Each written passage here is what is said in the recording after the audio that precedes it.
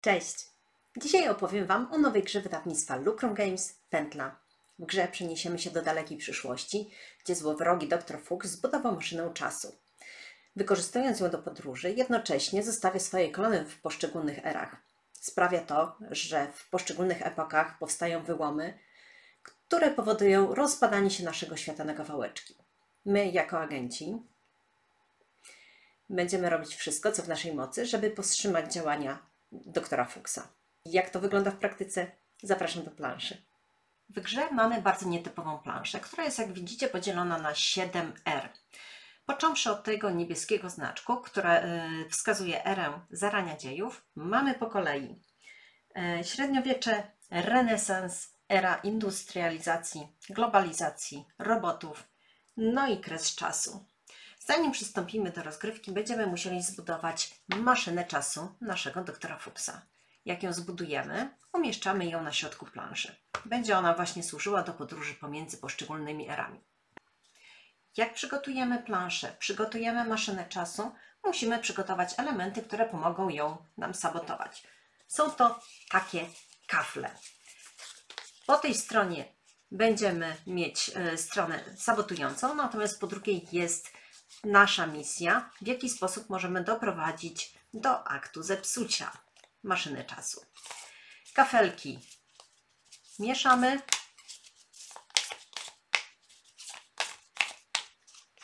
I losowo układamy w każdej erze.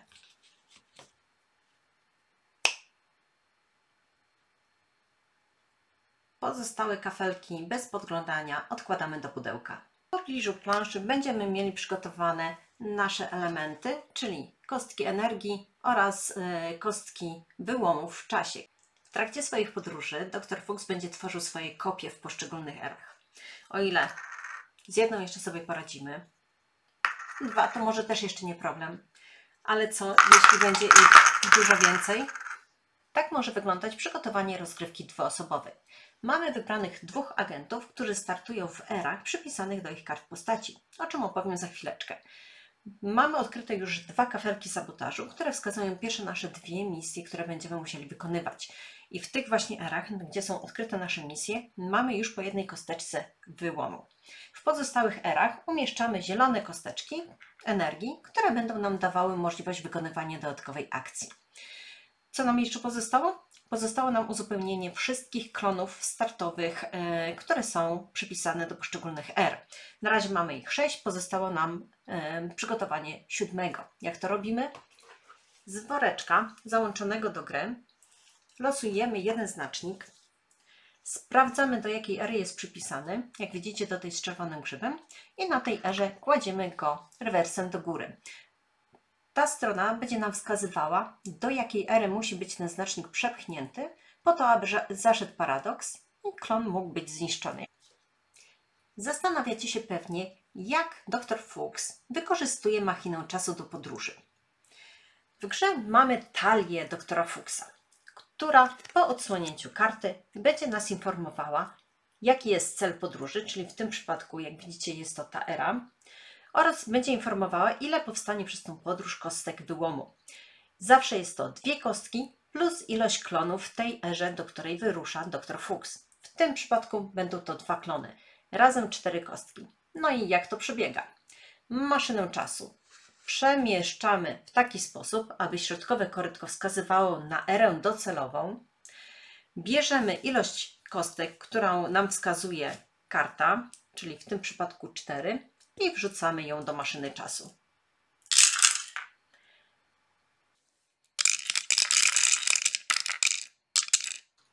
Jeżeli doprowadzimy do sytuacji, gdzie zajęte są wszystkie trzy sloty wyrwy i ma się pojawić kolejna, oznacza to, że zawaliliśmy. Jakie są konsekwencje? Usuwamy kafelek z sabotażu, niezależnie którą stroną jest tutaj położony. W jego miejsce wstawiamy kafelek wiru, Znikają nam kostki. Niestety to jest chwilowe tylko dobra rzecz, która nas czeka. Jeżeli były przy tej erze przypisane jakiekolwiek karty artefaktu, one przepadają i jeżeli w przyszłości w trakcie rozgrywki mają się pojawić tutaj na tej erze, one automatycznie idą na stos kart odrzuconych. W jaki sposób uszkadzamy machinę czasu doktora Fuchsa? Realizując misję na kaflach sabotażu. I jak to robimy? Na każdym kaflu będzie informacja o tym, co jest celem danej misji. Po wykonaniu, po realizacji danego celu będziemy mogli go zarchiwizować i tym samym sposobem uszkadzać po kolei machinę czasu. W przypadku tego konkretnego naszym zadaniem będzie usunięcie jednej wyrwy z ery doktora Fuchsa 5 razy. Co to jest era Fuchsa?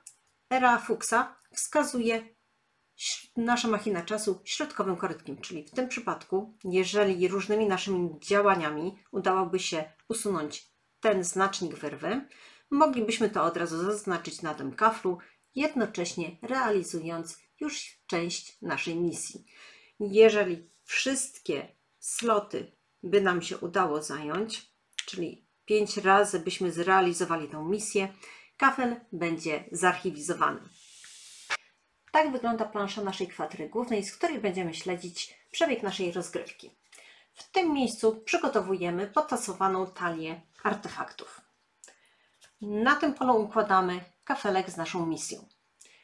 To miejsce będzie nam służyło do tego, żeby umieszczać tutaj karty odrzucone i zniszczone. Poniżej mamy tutaj e, pola, które będą nam informowały o akcjach doktora Fuchsa.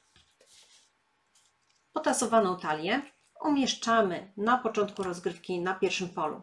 W zależności od tego, na jakim etapie jesteśmy, talia będzie się przesuwała aż do tego miejsca. W chwili, kiedy nie pokonamy doktora Fuchsa, w tym momencie automatycznie przegrywamy grę. I co to oznacza? Czyli w tej e, rundzie będziemy dobierać w fazie e, doktora Fuchsa jeden znacznik klona i jedną kartę artefaktu. Jak widzicie, tych znaczników klonów w poszczególnych rundach będzie coraz więcej. Zagraną kartę będziemy odkładać tutaj, która po pierwsze nas informuje o tym, gdzie doktor już był i gdzie ewentualnie będzie mógł się pojawić w przyszłości, ponieważ kart jest 7, czyli tyle, ile jest R na planszy. Każdy agent, którego wybierzecie, będzie miał kartę postaci, na której będzie informacja, jakie karty będą stanowiły jego unikalną rękę startową. Tutaj macie dodatkowo wskazany piktogram postaci Mipla, y, z którą zaczynam. Na dole jest informacja o tym, jak się nazywa, jaka jest umiejętność unikalna i w jakiej erze startuje.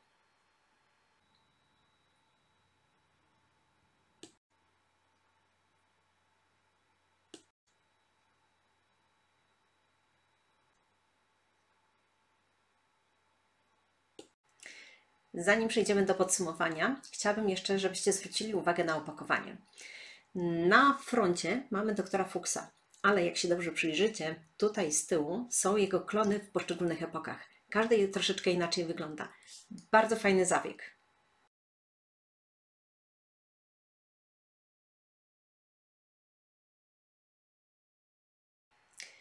To oczywiście nie wszystko, co musicie wiedzieć przed przystąpieniem do rozgrywki. Po szczegóły sięgnijcie do instrukcji. Jeżeli lubicie kooperację, i to nie takie oczywiste, gdzie faktycznie trzeba współpracować, żeby pokonać grę, to się zainteresujcie tym tytułem. A teraz trzymam za Was kciuki, żeby dr Fuchs nie powracał, nie powracał, nie powracał. Trzymajcie się ciepło. Cześć!